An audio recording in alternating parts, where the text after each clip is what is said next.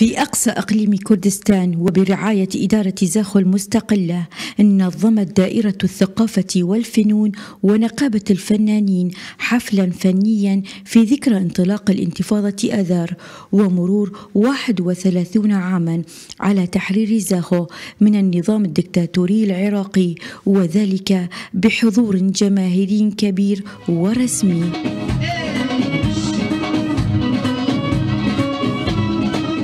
اليوم بمناسبة ذكرى الحادي والثلاثين لاندلاع انتفاضة آذار المجيدة الانتفاضة التي قام بها الشعب الكردي نهنئ شعب الكردستان بشكل عام وأهالي مدينة زاخو بمناسبة ذكرى الانتفاضة. الانتفاضة كانت آه، انتفاضة كانت ناجحة. أنا كنت واحد من من البيشمركة بوقت الانتفاضة.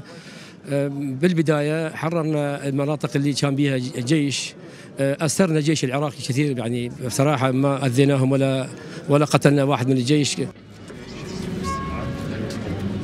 تخللت الاحتفالية إلقاء لكلمات تجسد دور الانتفاضة كردستان إضافة إلى افتتاح معرض للصور الفوتوغرافية ومعرض علمي تجسد ابتكارات الطلبة لتكون رسالة كردستانية شاهدة على طريق المعرفة سبيلا.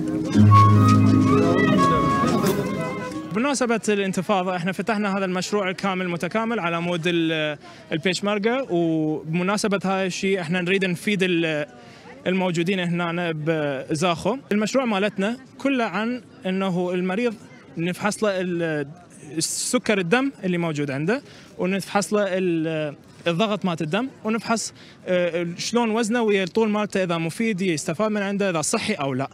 اليوم نهنئ الشعب الكردي بهذه المناسبة الجليلة العظيمة هي الانتفاضة الكردية على الظلم والتعسف آه، المرأة لها كان دور مميز في هذه الانتفاضات.